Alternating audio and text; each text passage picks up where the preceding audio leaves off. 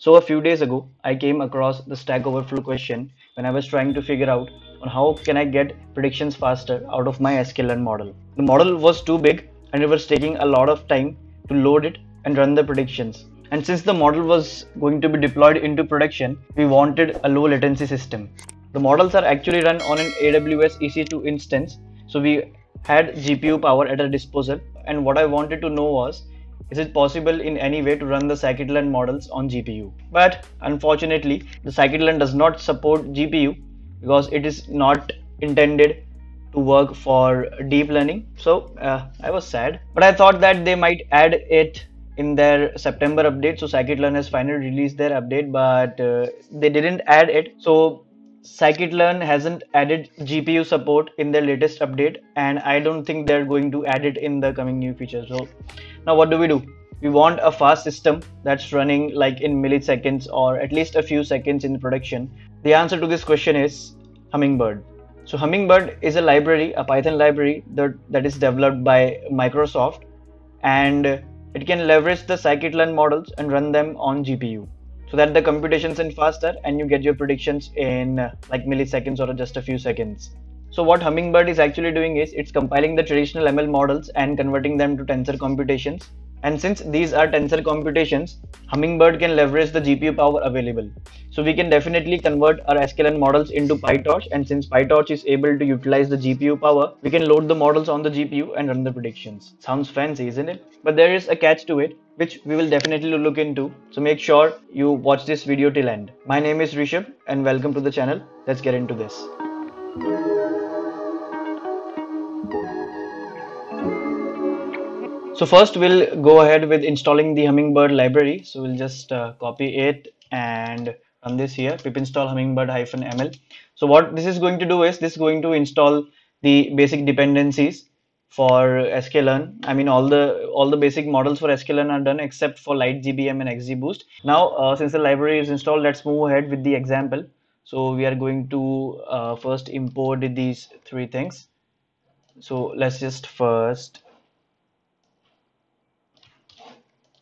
and this. And instead of the random forest classifier we're going to import the extra trees classifier. They're more or less uh, kind of the same thing with just one difference of the uh, type of sampling uh, that they do. So let's just run this. Okay we have it imported. And let's just now create a training data set. Uh, we're going to do this. And instead of just a hundred thousand rows we are actually going to create uh, a little bigger data set so we create uh, 500,000 rows. We actually want the model to be bigger because there's something that uh, we need to keep in mind when working with big data. And uh, usually the data that we have the training data that we have is in huge quantities. So the model might indeed be uh, a lot bigger. So that that is one thing that I just wanted to show. Um, so let's just train the model the extra trees classifier model. And we are intentionally going to make the model bigger so I'm going to uh, set the max depth parameter as none and I'm going to set the njobs parameter as uh, minus one. So what this uh, njobs is going to do is uh, it's going to train this extra trees classifier uh, model on all the CPU power that I have uh, available. So here I have uh, this is the task manager and I'm into the performance tab up here. So this is the the utilization chart we can say of the CPU I have uh, an Intel i5 so it's a 6 core 12 thread CPU and each graph appears so we have uh, 12 graphs appear and each graph actually belongs to individual thread performance. So there currently the utilization as you can see it's around 3 or 4 percent. But when I run this it's going to jump up to 100 percent. So let's just run this. And now you can see the utilization has jumped up to 100 percent and each of these uh, thread graphs are topping up to 100 percent. Let's just wait for this model to train actually shouldn't take uh, too long. Okay so it's done. Uh, it actually took a few seconds to run. Let me just bring this down. So now we are going to convert uh, this model the extra trees uh, scikit-learn model into uh, pytorch and we are going to use hummingbird for that. So uh, here I have used the convert function that was imported from the hummingbird.ml package and we are converting this specific sklearn model into PyTorch. Let's just run that.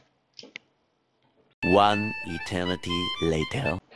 Okay, so this took uh, like 10 minutes to to finish and I guess this is because uh, it, it totally depends on the amount of RAM that you have available so I have 16 gigs of RAM that was uh, that that's why it was taking some time to run so now let's do one thing uh, let's just see the size of this model so let's first just uh, save this model into a pickle file.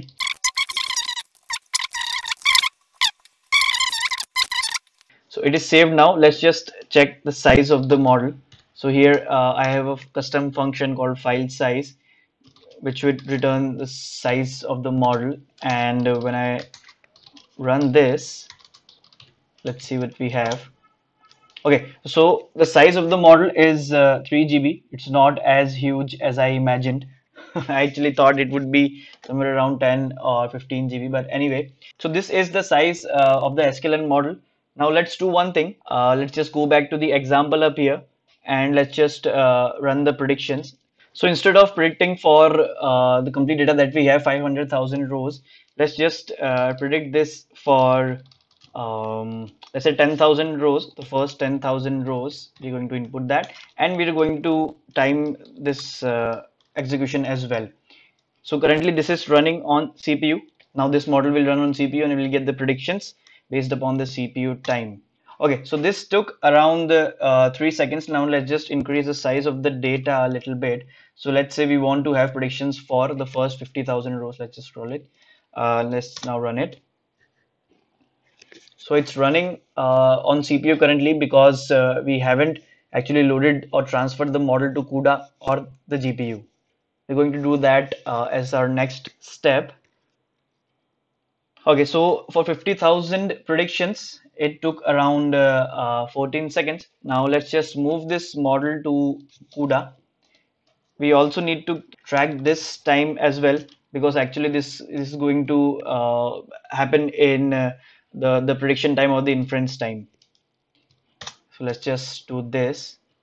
So now what it's going to do is uh, it's going to transfer the model to my GPU and when I check the utilization for GPU um, okay so now you can see the the utilization for my GPU is 3 GB out of 8 GB now I have uh, an NVIDIA RTX 3070 Ti that that has uh, 8 GB of dedicated graphics memory and uh, the model size is 3 GB and I've transferred it to the GPU so it's using 3 GB out of uh, total 8 GB uh, memory available. So it took around uh, two and a half seconds to do that. Now let's uh, do the part that we all be, have been waiting for. Let's run the predictions on the GPU and we're going to time it as well. Okay. Should we do it? Uh, let me just roll to commit in the center uh, we are go also going to monitor the GPU utilization up here. So you as you can see the utilization is currently residing at 25 28 29 percent. It should boost up as soon as I run this cell. Oh. Okay. Oh okay. God. okay. Okay. So so um okay this is surprising. I actually wasn't expecting this. So the C as as you can compare the results um the the CPU one ran in uh, like 14.3 seconds but the GPU one ran in uh, like 270 milliseconds. I mean that's that's that's way too low. Okay this okay.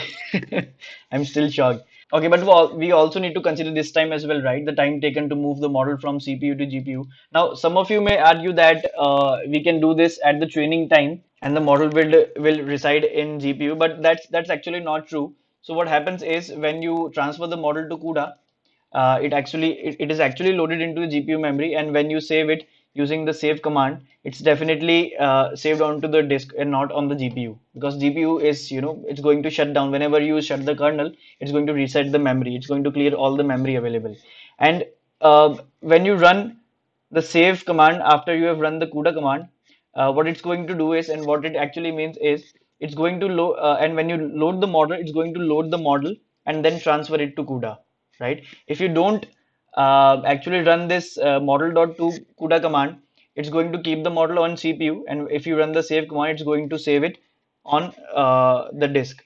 And when you load it it's going to load into the CPU itself I hope this makes sense. So whenever you run this command, it doesn't matter. Even if you run this uh, in the C in the in the training time, or even if you run this in the inference time, this is going to take this much time uh, at the inference, no matter where you run this. Now here's a catch. So as you can see, the size of the model that I have here is already quite big. It's like 3 GB model. So ideally, it's not suggested that in the production environment uh, we have these you know uh, these kind of file sizes or these kind of model sizes. The size of the model in production should be uh, typically in few MBs now uh, what happens is imagine the size of this model was uh, more than 8 GB now as I mentioned the GPU memory that I have available is 8 GB so so let's say for some training data the model size is bigger than the GPU memory that we have available.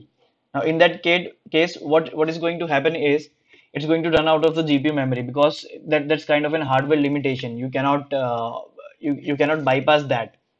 So that is the trap or that is the flaw that we have for Hummingbird. So Hummingbird is actually not made to be used when you have uh, bigger models. Flaw number two, Hummingbird can only be used to run predictions. You cannot actually train an sklearn model on GPU using Hummingbird. It can only be used for predictions and also at the time of prediction you can just use the basic methods that we have for a model at the time of prediction like the dot predict method and the dot predict proba method. That's for predicting probability. Another thing that i would like to mention as uh, one of one of the limitation is hummingbird is only meant to be run on one single gpu machines now, in some cases, what might happen is when you are deploying this in production, let's say you're deploying this on AWS environment, and uh, in AWS environment, we have various kind of instances. Some instances have multiple GPUs. Now, when you have multiple GPUs, you would definitely want the Hummingbird library or the predictions to be run on all the GPUs to make the inference time even faster. But Hummingbird currently does not support that. When you load the model using this command into the memory, it's going to load that on the first GPU available, and it's going to run all the predictions on that particular GPU only. Okay, so I hope this was useful and you learned something new. If you actually learned something new, maybe consider subscribing to the channel, give this video a like. If you disliked something, maybe comment down and tell me uh, what could be done to improve or if I said something wrong, what's the correct thing and I'll catch you guys uh, in the next one. Bye-bye.